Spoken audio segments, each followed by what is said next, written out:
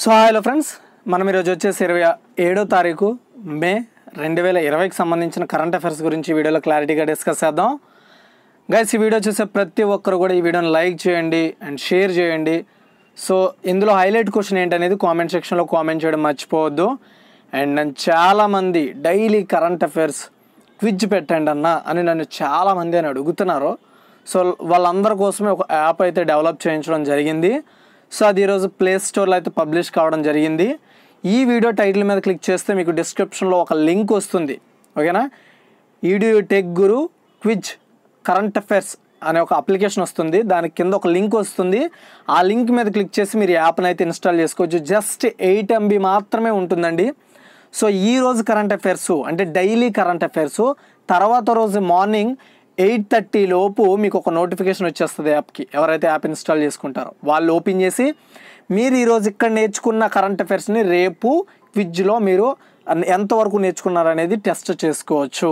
అంతేకాకుండా English current అఫైర్స్ని కూడా దానికి ఒక సపరేట్గా దానికి ఒక కేటగిరీని కూడా ఇవ్వడం జరిగింది. ఇంగ్లీషు అండ్ తెలుగు దాంతోపాటు స్ట్రాటజిక్ జీకే ఓకేనా? దాన్ని కూడా ప్రొవైడ్ చేయడం జరిగింది. సో ఎవరైనా ఒకవేళ ఇంట్రెస్ట్ ఉంటే యాప్ని డెవలప్ చే ఇన్స్టాల్ చేసుకోండి.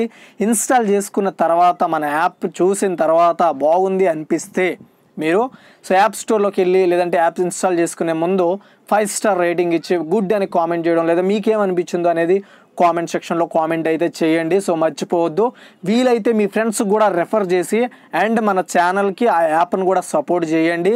సో మీకోసం మీకు కావాలనేసి యాప్ని అయితే నేను డెవలప్ చేయడం జరిగింది. సో దాన్ని మీరు సపోర్ట్ చేస్తే ఇంకొంతమందికి అయితే షేర్ చేయగలం. సో మీ ఫ్రెండ్స్ అందరికీ కూడా రెఫర్ చేయండి. సో ఇన్స్టాల్ చేసుకోమని చెప్పండి. జస్ట్ ఎయిట్ ఎంబీ మాత్రమే కేవలం ఎయిట్ ఎంబీ మాత్రమే ఉంటుంది. ఇన్స్టాల్ చేసుకోండి. కింద లింక్ ఇస్తాను. మీరు ప్లే స్టోర్లో సెర్చ్ చేస్తే రాదు. ఎందుకంటే అది ఇంకా ఎక్కువ మంది డౌన్లోడ్ చేసుకోవాలి కాబట్టి బట్ ప్లే స్టోర్లోనే ఉంది యాప్ కింద లింక్ ఇస్తాను అక్కడ నుండి క్లిక్ చేసి ప్రతి ఒక్కరు కూడా ఇన్స్టాల్ చేసుకోండి. సో మన ఛానల్ ఒక ఐదు వేల మంది ఈ కరెంట్ అఫైర్స్ వీడియోని చూస్తున్నారు. ఆ ఐదు వేల మంది ఇన్స్టాల్ చేసుకొని ఐదు వేల మంది ఒక్కొక్కరికి రిఫర్ చేస్తే పదివేలు డౌన్లోడ్లు ఈజీగా వస్తాయి. సపోర్ట్ చేయండి గాస్ ఈ రోజుల్లో మొబైల్ ప్రతి ఒక్కరి దగ్గర ఉంది. అండ్ మీరు డైలీ టెస్ట్ ఈరోజు మీరు నైట్ చదివింది రేపు మార్నింగ్ అక్కడైతే మీరు చూసుకోవచ్చు. సో దాన్ని అసలు ట్రై చేయండి. సో ఇందులో ఫస్ట్ క్వశ్చన్లోకి వెళ్ళిపోయినట్టయితే ప్రపంచంలోని మొట్టమొదటి కాంటాక్ట్ ప్లస్ విజిటర్ మేనేజ్మెంట్ సాఫ్ట్వేర్ను ఓకేనా సాఫ్ట్వేర్ను ఇండియన్ స్టార్ట్ ఓకేనా ఇండియన్ స్టార్టప్ వామ్స్ గ్లోబల్ అభివృద్ధి చేసింది ఈ యొక్క స్టార్టప్ ఓకేనా ఈ యొక్క స్టార్టప్ ఏదైతే వామ్స్ గ్లోబల్ అనే ఒక స్టార్టప్ కంపెనీ ఏదైతే ఉందో ఈ కంపెనీ మన దేశంలో ఏ నగరంలో ఉందంటే ముంబై అండి. ఓకేనా సో ముంబై కేంద్రంగా పనిచేసే ఓకేనా వామ్స్ గ్లోబల్ ప్రపంచంలోనే మొట్టమొదటిసారిగా స్పర్శ లేకుండా ఓకేనా స్పర్శ లేకుండా సందర్శకుల నిర్వహణ సాఫ్ట్వేర్తో ఉష్ణోగ్రత స్కానర్ మరియు ముసుగు గుర్తింపును వామ్స్ గ్లోబల్ సేఫ్ గార్డ్ శారీర ఉష్ణోగ్రతను అయితే స్కాన్ చేయగలుగుతుంది. సింపుల్గా చెప్పాలంటే మనిషిని మనం టచ్ చేయకుండానే ఈ సాఫ్ట్వేర్ ద్వారా మనము ఆ యొక్క మనిషి యొక్క ఉష్ణోగ్రతను అన్న యొక్క స్కానింగ్ చేయడానికి ఈ యొక్క స్పర్శ లేని ఓకేనా? సో ఇక్కడ చూడండి. కాంటాక్ట్లెస్ విజిటర్ మేనేజ్మెంట్ సాఫ్ట్వేర్ని అయితే డెవలప్ చేసింది ఈ యొక్క వామ్స్ గ్లోబల్ అనే సంస్థ. ఇది ముంబైలో ఉండడం జరిగిందనమాట. ఓకేనా? అంటే ఇది మనం ఎవరిని టచ్ చేయకుండా మనమైతే స్కాన్ చేయొచ్చు. తర్వాత రెండండి.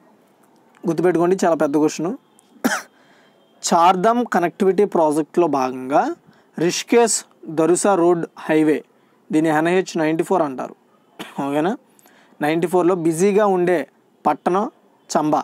అయితే దీని క్రింద నిర్మించిన నాలుగు వందల నలభై మీటర్ల పొడవైన సొరంగ మార్గాన్ని కేంద్ర మంత్రి నితిన్ గడ్కరీ ప్రారంభించారు. అయితే ఈ సొరంగాన్ని ఎవరు అభివృద్ధి చేశారు అంటే ఆన్సర్ వచ్చేసి బార్డర్ రోడ్ల సంస్థ అనమాట ఓకేనా? బార్డర్స్ రోడ్ ఆర్గనైజేషన్ ఓకేనా? బిఆర్ఓ చూడండి.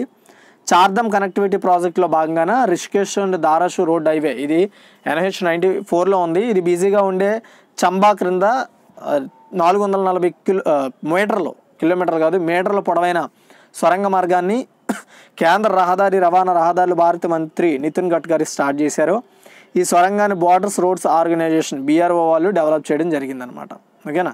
సో తర్వాత థర్డ్ వన్ అండి రేటింగ్ ఏజెన్సీ క్రిసిల్ రెండు వేల ఇరవై ఇరవై ఒకటి ఆర్థిక సంవత్సరానికి భారత జీడిపిని ఎంత శాతంగా అంచనా వేసింది అంటే ఆన్సర్ వచ్చేసి మైనస్ ఫైవ్ పర్సెంటేజ్ అండి.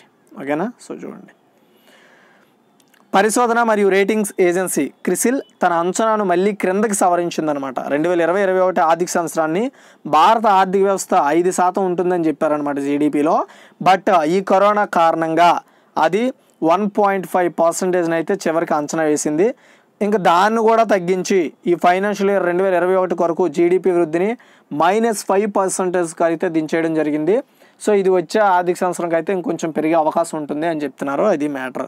ఓకేనా? ఫైనల్గా అయితే ఫైవ్ పర్సెంటేజ్ మైనస్ ఫైవ్ పర్సెంటేజ్గా అంచనా వేసింది. తర్వాత ఫోర్త్ వన్ అండి. New York intellectual property law association దీన్ని ఎన్వైఐపిఎల్ఏ అంటారు. ఇది ఏటా ఇచ్చే రెండు వేల ఇరవై సంవత్సరానికి inventor of the year award ఓకేనా? Inventor of the year award అనేది ప్రతి సంవత్సరం ఇస్తుంది. అయితే ఈ రెండు వేల ఇరవై సంవత్సరానికి inventor of the year award గ్రహీత ఎవరు? అంటే ఆన్సర్ వచ్చేసి రాజీవ్ జోషి అండి. ఎలక్ట్రానిక్ పరిశ్రమను అభివృద్ధి చేయడంలో మరియు కృత్రిమ మేధస్సు సామర్థ్యాలను మెరుగుపరచడంలో ఆయన చేసిన మార్గదర్శక కృషికి గుర్తింపుగా భారతీయ అమెరికన్ ఆవిష్కర్త రాజీవ్ జోషి ప్రతిష్టాత్మక ఇన్వెంటర్ ఆఫ్ ది ఇయర్ అవార్డును అయితే తీసుకోవడం జరిగింది. సో యూఎస్లో ఇతను రెండు వందల యాభైకి పైగా పేటెంట్ ఆవిష్కరణలతో ఇతను వర్క్ చేయడం జరిగిందనమాట సో అంతేకాకుండా ఇతను ఐబీఎం థామ్సన్ వాట్సన్ రీసెర్చ్ సెంటర్లో వర్క్ చేస్తున్నాడు. ఇతను వర్చువల్ అవార్డుల ప్రధానోత్సవ కార్యక్రమంలో ఈ నెల ప్రారంభంలో New York intellectual property law association అతనికి ప్రతిష్టాత్మక వార్షిక అవార్డుని అయితే ప్రదానం చేయనుందనమాట ఇతను ఐఐటి ముంబైలో చదువుకున్నారు. And జోసి Massachusetts institute of technology MIT నుండి ఎంఎస్ డిగ్రీ మరియు కొలంబియా యూనివర్సిటీ నుండి మెకానికల్ అండ్ ఎలక్ట్రికల్ ఇంజనీరింగ్లో పిహెచ్డి కూడా కంప్లీట్ చేశారనమాట అతను. తర్వాత ఫిఫ్త్ వన్ అండి. రైతులు మరియు ఎంఎస్ఎంఈల కోసం అనుకూ అనుకూలీకరించిన డిజిటల్ ఉత్పత్తులను అభివృద్ధి చేయడానికి ఎయిర్టెల్ పేమెంట్స్ బ్యాంకు ఏ సంస్థతో భాగస్వామ్యం కుదుర్చుకుంది అంటే మాస్టర్ అండి. ఓకేనా? Master company. చూడండి.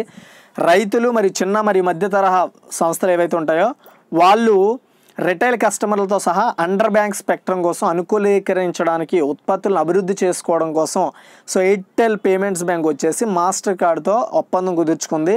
సో ఈ ఒప్పందం అనేది డిజిటల్ ప్లాట్ఫామ్ను నిర్మించడమే లక్ష్యంగా ఈ యొక్క ఫ్లాట్ యొక్క ఒప్పందం అయితే చేసుకున్నట్టు చెప్తున్నారు.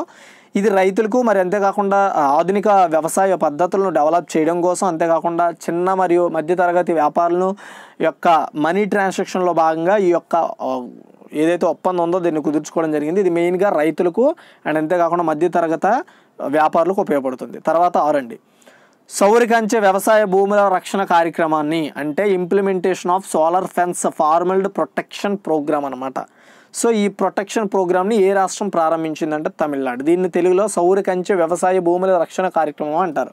ఇంగ్లీష్లో చూసుకుంటే implementation of solar fence farmland protection program అంటారు. ఈ యొక్క కార్యక్రమాన్ని తమిళనాడు గవర్నమెంట్ అయితే స్టార్ట్ చేయడం జరిగింది. సో చూడండి కేంద్ర వ్యవసాయ అభివృద్ధి పథకం కింద సౌర కంచె వ్యవసాయ భూముల రక్షణ కార్యక్రమాన్ని దాన్ని implementation of solar fence formulate protection program అంటారు ఇంగ్లీష్లో. సో దీన్ని అయితే అమలు చేసిన ప్రాథమిక పనులుగా తమిళనాడు ప్రభుత్వం అయితే ప్రారంభించింది. పశ్చిమ కనుమలకు తమ సరిహద్దులుగా కలిగి ఉన్న జంతువులు లైక్ ఏనుగులు దాడులను గురయ్యే జిల్లాలు ఏవైతే ఉంటాయో వాటిల్లో ఈ పథకం అయితే ఇంప్లిమెంట్ చేస్తారనమాట అది. తర్వాత సెవెంత్ వన్ అండి. లోకల్ టు గ్లోబల్ థీమ్తో సెప్టెంబర్ రెండు వేల ఇరవై నుండి పునఃప్రారంభించే హునర్ హాట్ కార్యక్రమం. ఓకేనా? ఈ హునర్ హాట్ నిర్వహించే మంత్రిత్వ శాఖ ఏది అంటే మైనారిటీ వ్యవహారాల మంత్రిత్వ శాఖ అండి. ఈ మైనారిటీ వ్యవహారాల మంత్రిత్వ శాఖ ఏదైతే ఉందో వీళ్ళు రెండు వేల ఇరవై సెప్టెంబర్లో లోకల్ టు గ్లోబల్ అనే థీమ్తో హునర్ హాట్ అనే ఒక కార్యక్రమాన్ని ప్రారంభిస్తున్నారనమాట ఓకేనా? సో ఈ కార్యక్రమం అంటే ఏంటి? హునర్ హాట్ అనే కార్యక్రమం ఏంటో చెప్తాను. సో ఈ కార్యక్రమాన్ని మైనారిటీ వ్యవహారాల మంత్రిత్వ శాఖ అయితే నిర్వహిస్తుంది మన ఇండియాలో. చూడండి. మైనా మైనారిటీ వ్యవహారాల మంత్రిత్వ శాఖ హోనర్ హాట్ అనే ఒక కొత్త ప్రధాన ప్రయత్నంలో రెండు వేల ఇరవైలో సెప్టెంబర్లో లోకల్ టు గ్లోబల్ అనే థీమ్తో ఈ యొక్క కార్యక్రమాన్ని ప్రారంభిస్తున్నారు. ఇది వివిధ ప్రాంతాల నుండి వచ్చే కళాకారులు మరియు హస్తకళకారులకు హస్తకళాకారులకు ఇది ఒక స్టేజ్గా ఉపయోగపడుతుంది అనమాట ఓకేనా? వాళ్ళ యొక్క తయారు చేసిన వస్తువులను వాళ్ళ యొక్క ప్రాముఖ్యతను తెలియజేసుకోవడానికి ఈ యొక్క హానర్ హార్ట్ అనే ఒక కార్యక్రమం అయితే బాగా ఉపయోగపడుతుంది అనమాట ఇది కూడా లోకల్ టు గ్లోబల్ అనే థీమ్తో నడుపుతున్నారు. వారి యొక్క కళలు మరియు కళలను ప్రదర్శించడానికి మాస్టర్ హస్తకళాకారులు ఉపాధి కల్పించడానికి అంటే లైక్ వీళ్ళకు ఉపాధి కల్పించుకోవడం కోసం వాళ్ళ యొక్క హస్తకళను ప్రదర్శించడం కోసం వాటి ప్రాముఖ్యతను తెలియజేయడం కోసం వాళ్ళు తయారు చేస్తున్న వాళ్ళ యొక్క కృషిని తెలియజేయడం కోసం ఈ హార్ట్ అనేది బాగా ఉపయోగపడుతుంది అనే చొరవతో సెంట్రల్ గవర్నమెంట్ అది కూడా మైనారిటీ వ్యవహారాల మంత్రిత్వ శాఖ ఈ హార్ట్ అనే ఒక కార్యక్రమాన్ని సెప్టెంబర్లో చేయబోతోంది. తర్వాత ఎయిత్ వన్ అండి. జైతు జైతు భారం వాసుదేవ కుటుంబక్కం ఓకేనా కుటుంబక్కం అనే పాటను ఎవరు రాశారు ఇది ఫ్యూచర్లో మనకి చాలా ఇంపార్టెంట్ క్వశ్చన్ అయ్యే అవకాశం ఉంటుంది. సో ఆన్సర్ వచ్చేసి ఎవరు రాశారంటే ప్రసూన్ జోషి అండి. ఓకేనా? ఈ పాటని. చూడండి. జైతు జైతు భారం వాసుదేవ కుటుంబక్కం అనే ఒక పాటను అయితే రిలీజ్ చేశారు. ఈ పాటను రాయడము అంతేకాకుండా ప్రశాంత్ జోషి గారు అయితే ఈ పాటను రాయడం జరిగింది. ప్రసూన్ జోషి ఓకేనా? నాట్ ప్రశాంత్ జోషి. ప్రసూన్ జోషి గారు ఈ సాంగ్ని రాశారు. శంకర్ మహాదేవన్ గారు ఈ పాటను పాడడం జరిగింది. ఏ పాటని? జైతు జైతు భారం వాసుదేవ కుటుంబకం అనే పాటని రాసి పాడారు. ఎవరు? శంకర్ మహాదేవ్ గారు. రాసింది ఎవరు? ప్రసూన్ జోషి. ఓకేనా? సో ఈ పాట ఏంటంటే పురా పురాణ గాయకుడైన గాయకురాలైన లతా మంగేష్కర్ వంటి రెండు వందల ఇరవై ఒక్క మంది గాయకులను గుర్తు తెచ్చుకున్న ఈ పాటను పాడడము. అంతేకాకుండా ప్రస్తుతం ఉన్న మనం ఈ కోవిడ్ నైన్టీన్ మహమ్మారి యొక్క స్వావలంబ స్ఫూర్తిని అంటే ఎవరైతే దీని గురించి భయపడుతున్నారో ఇబ్బంది పడుతున్నారో వాళ్ళలో ఒక స్ఫూర్తిని తీసుకురావడం కోసం ఈ పాటనైతే రాయడము పాడడం జరిగింది. తర్వాత తొమ్మిదండి.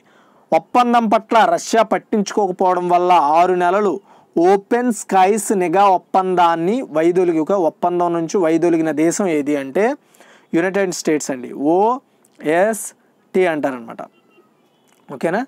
సో ఓపెన్ స్కైస్ నిఘా అనమాట వీళ్ళు ఒప్పందం కుదుర్చుకున్నారు ఎవరు? రష్యా వాళ్ళతో.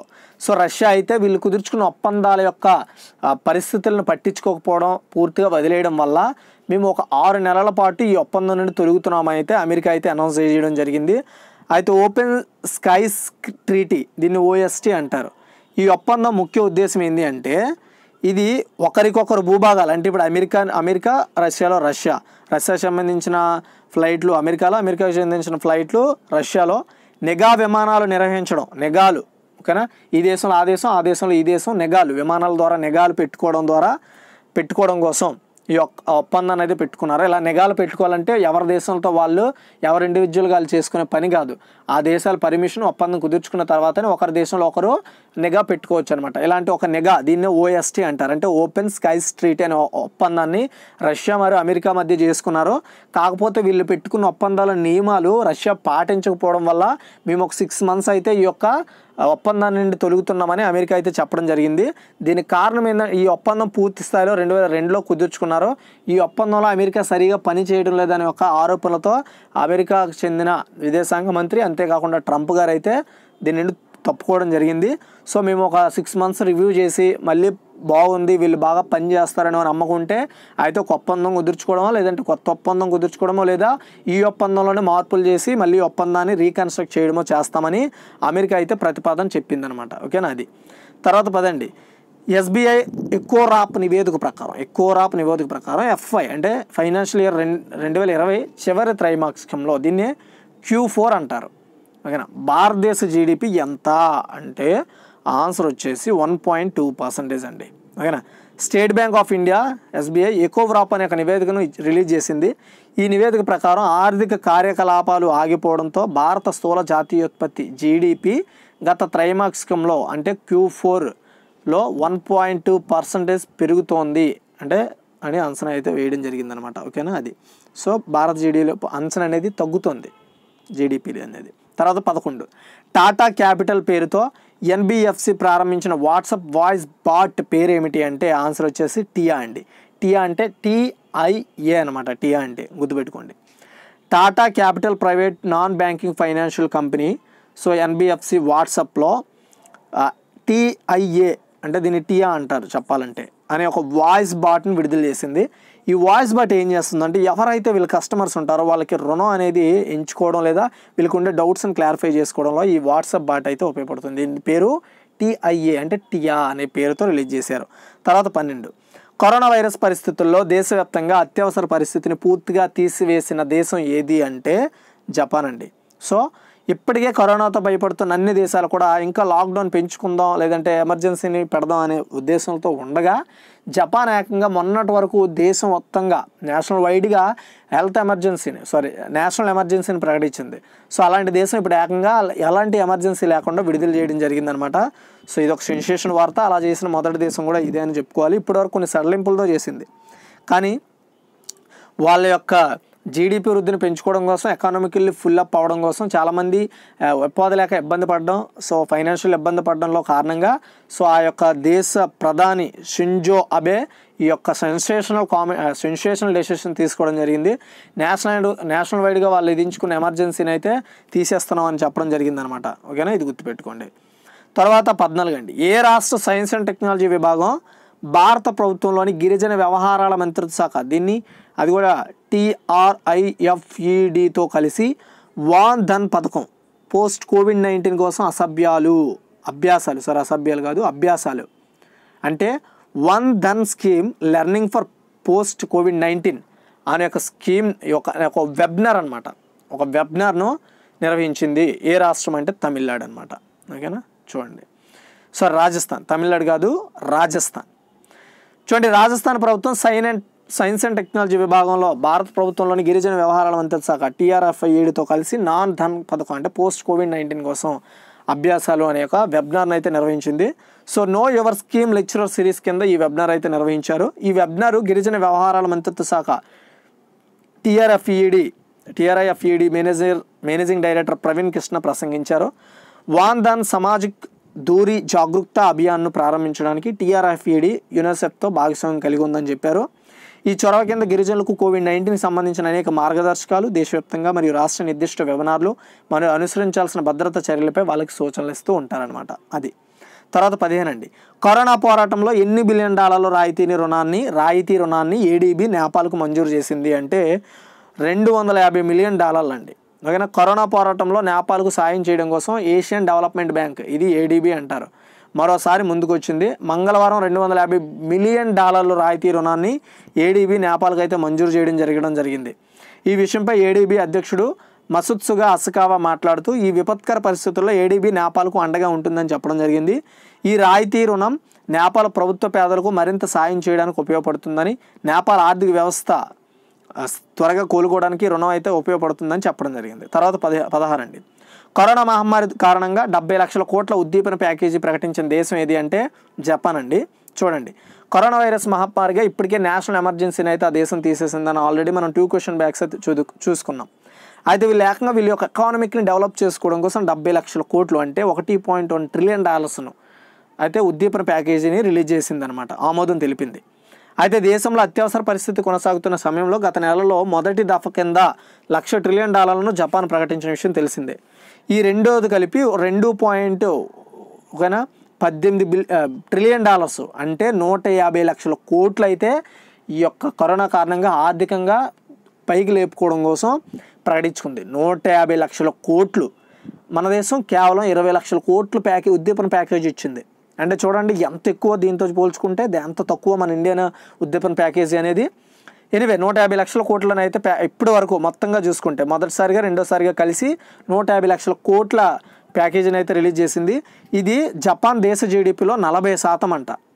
కరోనా వైరస్ను ఎదుర్కోవడంలో ప్రపంచంలో అత్యధికంగా ఖర్చు పెట్టిన దేశాలు అమెరికా సరసన జపాన్ కూడా చేరింది. అయితే అమెరికా దాదాపు రెండు పాయింట్ మూడు ట్రిలియన్ డాలర్లు కేటాయించుకుంది. కానీ కేవలం జపాన్ మాత్రం ఒకటి పాయింట్ పద్దెనిమిది ట్రిలియన్ డాలర్లు అయితే తీసుకొని ఇప్పుడు అదైతే ఫస్ట్ ప్లేస్లోకి వెళ్ళే అవకాశం కూడా ఉంది. సో ఇదిగా టోటల్ ఈరోజు యొక్క కరెంట్ అఫైర్స్ ఈ వీడియో కానీ మీకు నచ్చితే లైక్ చేయండి. సో మీకు ఎర్లీ మార్నింగ్ డైలీ కూడా కరెంట్ అఫైర్స్ క్విజ్ కావాలనుకుంటే కింద డిస్క్రిప్షన్లో యాప్ ఇచ్చాను. డౌన్లోడ్ చేసుకోండి. ఇంగ్లీ హిందీ ఇంగ్లీషు తెలుగు అంతేకాకుండా స్టాటిక్ జీకే కూడా డైలీ అయితే అప్డేట్ చేయడం జరుగుతుంది. అండ్ వీక్లీ కూడా టెస్ట్లు కండక్ట్ చేయడానికి ట్రై చేస్తాను. ఈ వీడియో మీకు నచ్చితే లైక్ చేయండి షేర్ చేయండి. Thanks for watching guys